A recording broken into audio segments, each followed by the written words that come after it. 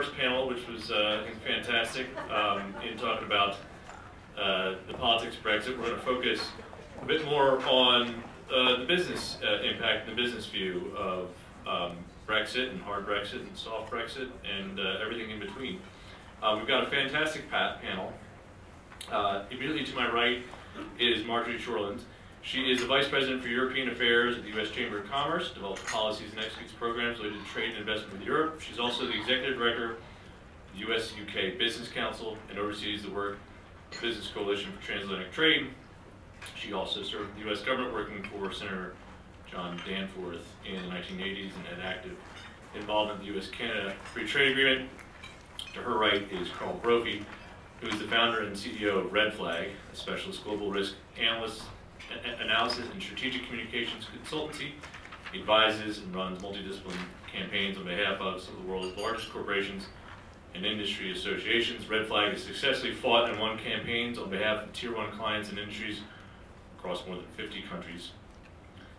And then finally, Peter Matheson uh, is Managing Director of International Policy at SIFMA. He leads SIFMA's effort, efforts to promote trade and investment opportunities for financial services sector, as well as helping ensure uh, international voices and policy experiences are brought to positively influence U.S. policymaking. Prior to joining SIFMA, Peter was financial and economic counselor at the British Embassy in Washington, D.C., seconded from Her Majesty's Treasury in London. He decided to stay with us in the United States, thankfully. And Peter spent 12 years at uh, Her Majesty's Treasury before arriving in the United States, working in a variety of roles.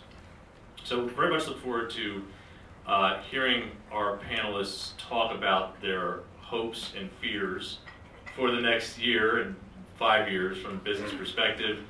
Uh, what will what will be facing business where goods now have to go through customs procedures?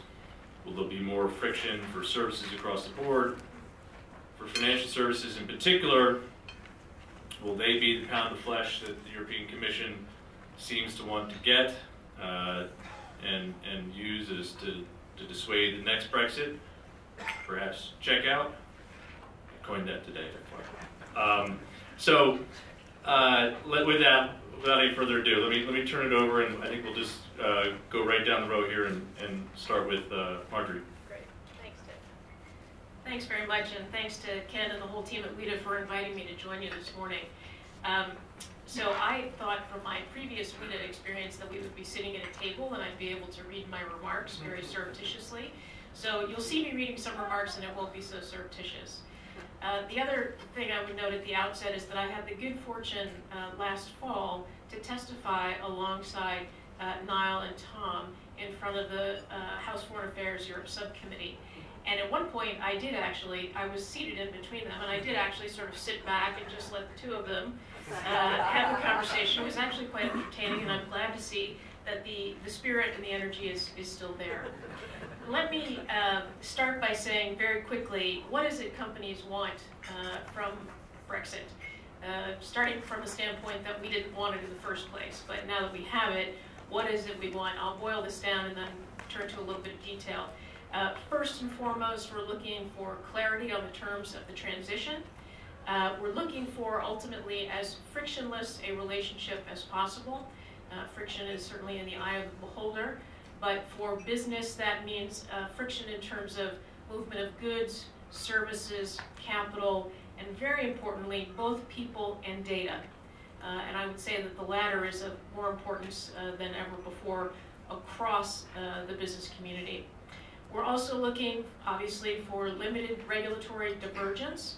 Uh, there may be uh, there may be uh, case cases where that might be different, and we have to sort of bridge the gap between um, the UK cleaving to the regulatory structures within the EU, um, but also recognize that there are instances where the UK, sorry, the EU and US regulatory structures might diverge, and we, we need to think about which, which way the UK uh, should cleave and how that might work uh, most effectively.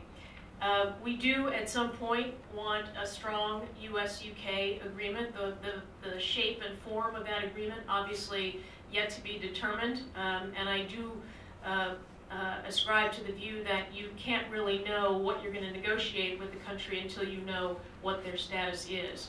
So I think that while we know there is a U.S.-UK uh, working group, trade, uh, trade, I don't know if it's called a trade investment working group or just a working group, um, involving USTR um, and the Department for International Trade, uh, and we know that one of the elements on their agenda is in fact beginning to scope out what could be an eventual framework for the negotiations themselves, not, not necessarily an agreement.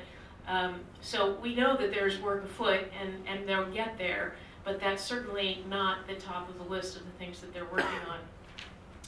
Um, I think the other thing that business wants, uh, which is extraordinarily important, the, the point was made about the UK's departure from the EU and what that will mean in terms of the, not just the policy-making process, but the philosophy behind the policies that emerge from Europe.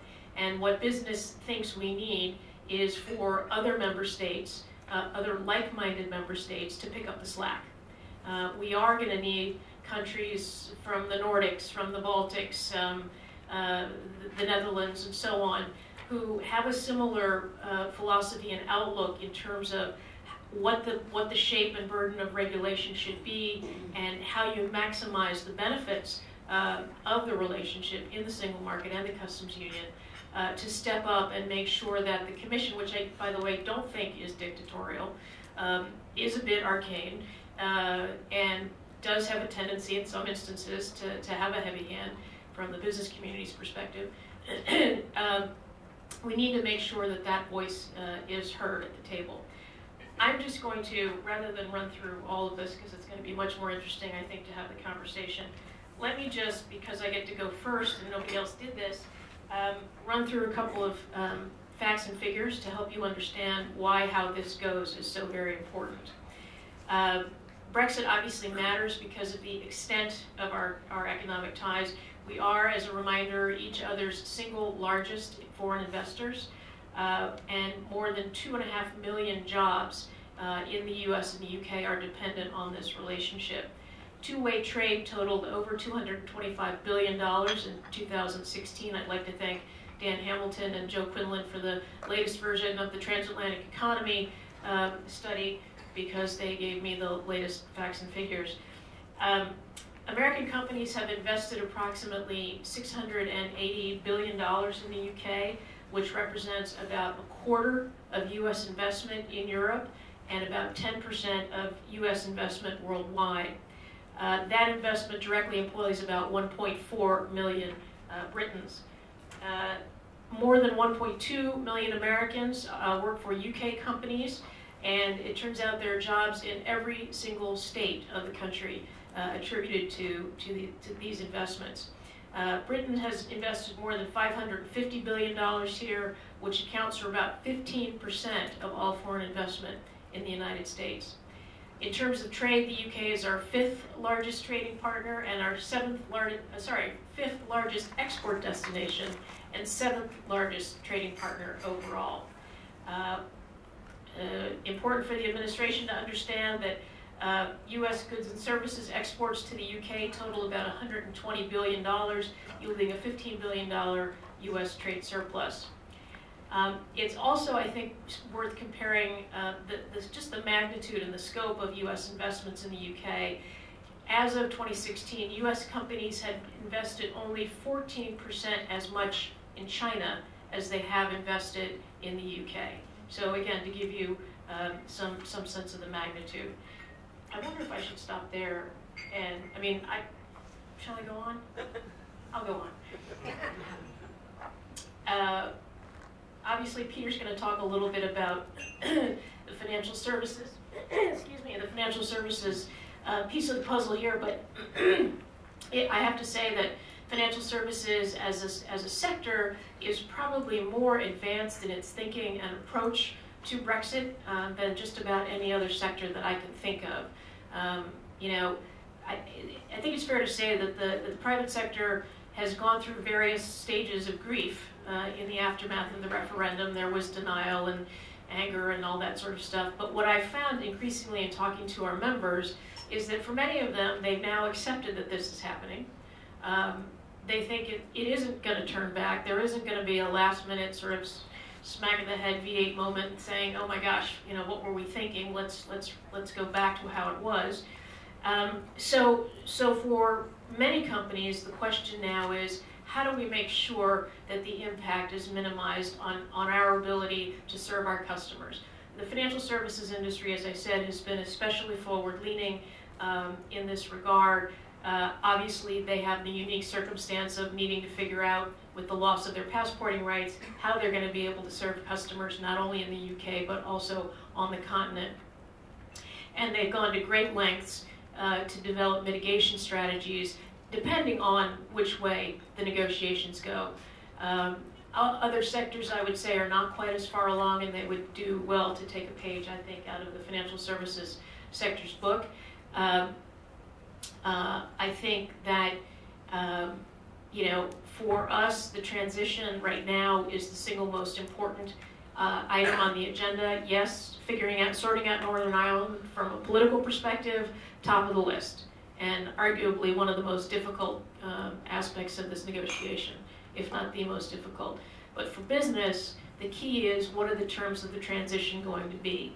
That's important because we believe that the transition should look as close to the status quo as possible and that it should last as long as it needs to until the future relationship is set up so that business and government, for that matter, only have to transition once, right? Because if we have to change for the transition and then change to something else completely different, uh, the costs of that are, are, are going to be um, astronomical. So for us, the transition is critically important. The future of the, the future shape of the relationship is also very important. Um, I think there are a lot of questions yet to be sorted out that are political questions first and foremost uh, that we are trying to inform by providing the real world business impacts. But at the end of the day, these are some tough political decisions uh, that both Brussels and London will have to take. Why don't I stop there and turn it over to Karl? Um, I think uh, I'd like to um, restrict my comments a, a little bit to uh, a point that Lucinda made towards the end of um, her contribution and some of the points made there.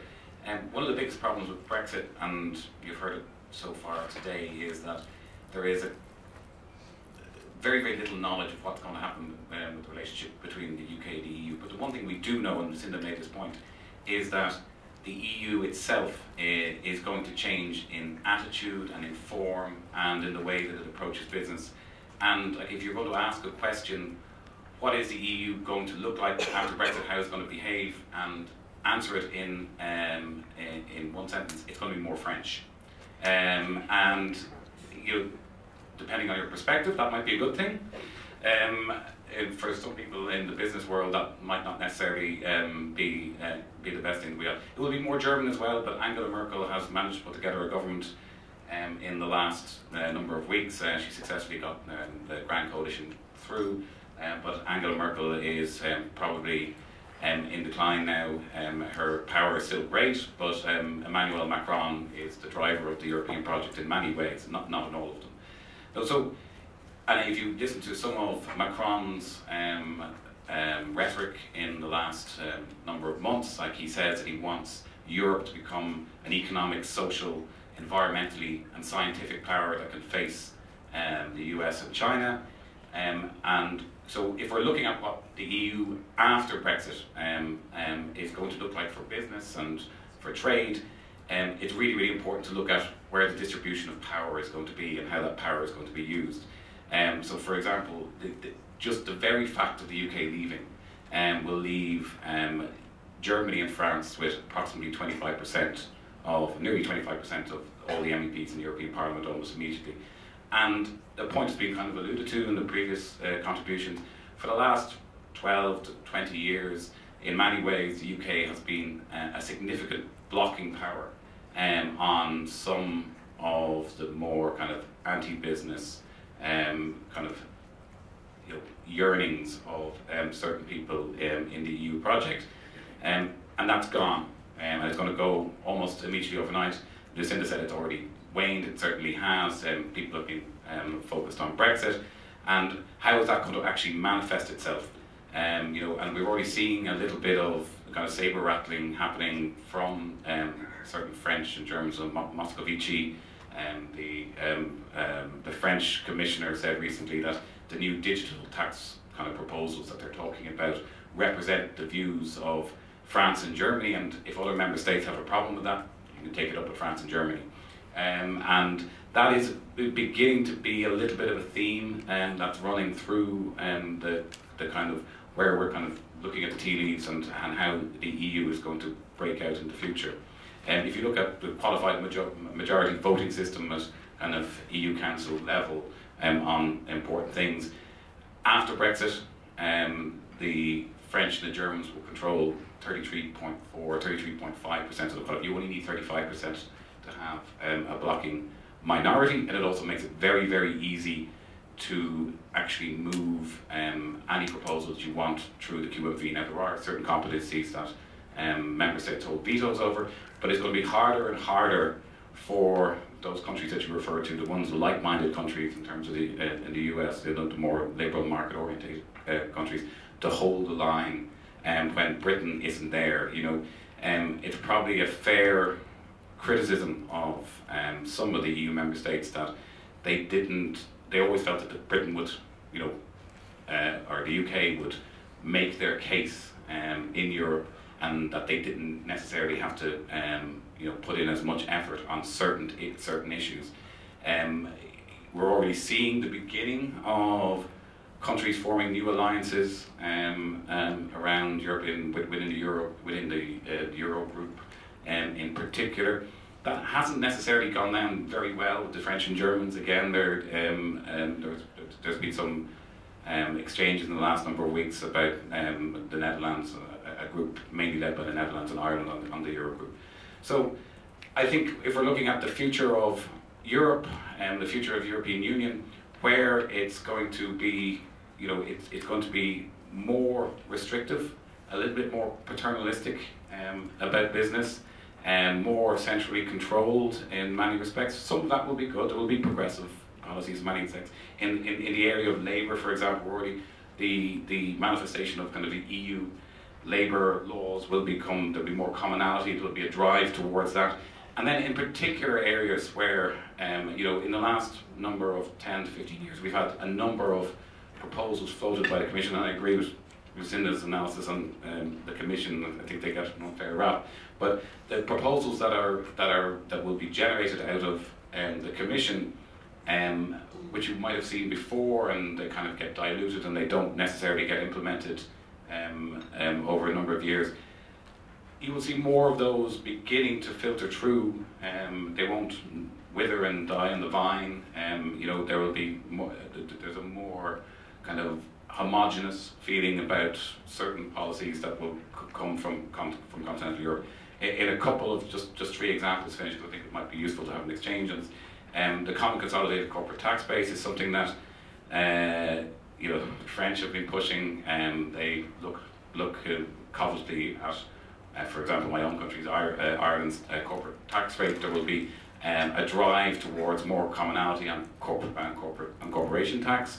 Um, that's something that smaller countries that have had competitive corporation tax policies have rigorously held uh, and fought against. Um, Ireland's ability to maintain its 12.5% corporate tax rate for the large amount of um, US um, FDI into the country when it was bankrupt um, um, was admirable, but they, it will be tested again, I think, um, once um, after Brexit.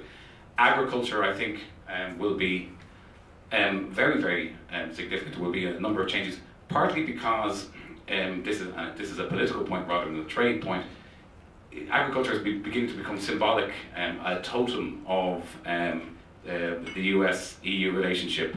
Um, people who have been in Britain um, and talking about Brexit or uh, looking at the commentary on Brexit, um, if you were to believe most of the commentary on Brexit um, um, and the, the, trade deals that the UK is eventually going to have to do with the US, um, Britain is going to be awash with chlorinated chickens and uh, and all sorts of food that doesn't come up to the standards. The, the, the Europeans and the French hold their food standards in very very high and uh, high esteem, um, and this has become um, a, a, totem of the relationship, and I think that will continue um, going forward. You know, a, where, where, and I think also what the French call GAFA, um, um, Google, Amazon, Facebook, and Apple um, will become very, very targeted in, in, the years to come. They're already seen as a, a, representation and manifestation. So there's almost a, a, kind of a triangulation of tension um, on the business side with the European, uh, with, with, with, forces within the European Union, moving in a certain way, reacting deliberately um, um, to this administration's here's policies in some ways, um, and sometimes going against their own actual ideologies and instincts because they want to be seen as more powerful, as a counterbalance, as more progressive. Um, and then Brexit um, will further complicate that. Um, I think we will see uh, they will begin the European Union in terms of its approach to business will begin to position itself into a very very distinct um, uh, and very European um, approach to business that won't have the handbrake of the UK on it in many ways, and we might see um, more alignment between, if they can do a trade deal, more alignment between the UK and the US um, and versus the EU in the future. Um, thank you, and thank you to, um, uh, to Tim for the introduction and to Ken uh, and to Rita for having me here today. It's a pleasure to be here. Uh, representing SIFMA and uh, the financial services industry. Um, some of, uh, of, of my remarks have already been been made in different forms, so um, I'll try and be as succinct as possible in terms of uh, relaying them through the, uh, the prism of how the financial services industry um, is viewing uh, the issues that, that Brexit, Brexit is throwing at us. Um, I think just to start, um, you know, it's quite interesting if you, you kind of read the press commentary and everything that's written about this. You know, you, in 2018, you still, in the British press especially, you still see, you know, this discussion characterised as, you know, being between the Leave camp and the Remain camp. Um, and, you know, the referendum's happened. And as the first panel, I think, made clear, the UK is leaving. So at this point in time in uh, March 2018, ultimately we're all leavers. Um, so you know, it's it's kind of what do we do with that? That's the world in which we live, and that's the world in which we've been given.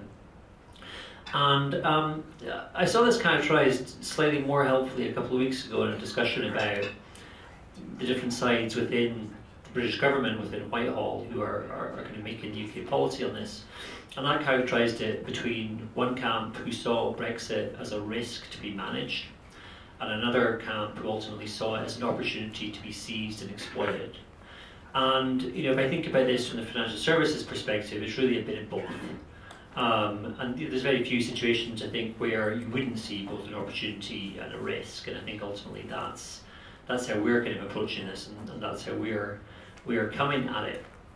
Um, I think you could probably say that some of the, ri- the risks are front loaded, and those are the things that are going to confront us and have to be addressed earlier in the process, but it's probably not quite as black and white as that. I think it's, um, you know, it's, it's a complex issue. Um, now, you know, I probably don't really need to, to tell a room of people who've come to a Brexit seminar, you know, about kind of why financial services is important in this context, but I will. Um, you know, if if any other economy left the European Union, it would be a big deal. You know, if any of the 28 departed, it would be it would be significant, and I'm sure we'd have lots of discussion about it here in Washington.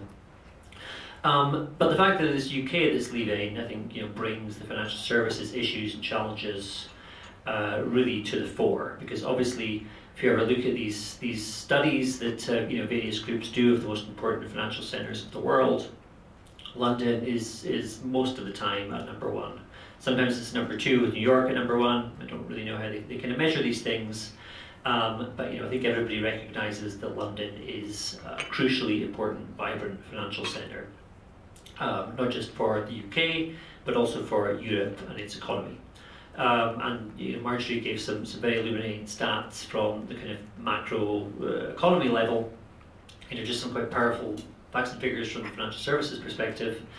Um, you know, some two times the amount of dollars are traded in the United Kingdom are traded here in the United States. Uh, the UK presently accounts for around about 40% of cross-border foreign exchange transactions, um, over 50% of cross-border bank lending. Um, you know, I could go on and on, but there's just no shortage of powerful statistics that really underlines the, uh, the, the, significance and, and, and the importance of the UK um, as a financial centre and, and, obviously the global uh, economic weight that that, that carries. Um, uh, uh, just kind of again, just another way that this this discussion tends to evolve and how it's characterised, especially in relation to financial services.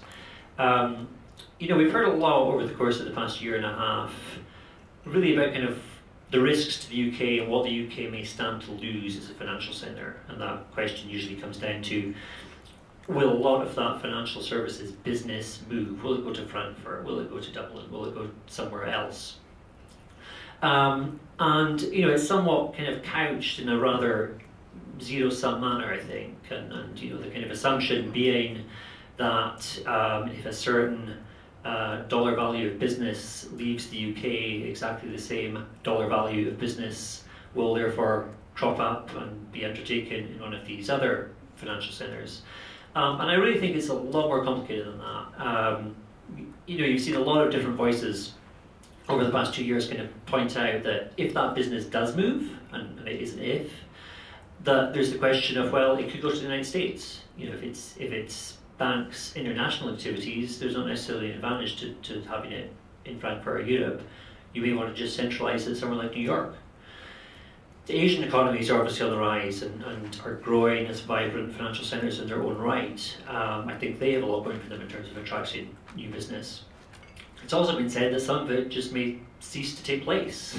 Um, and some of it may not have to go anywhere.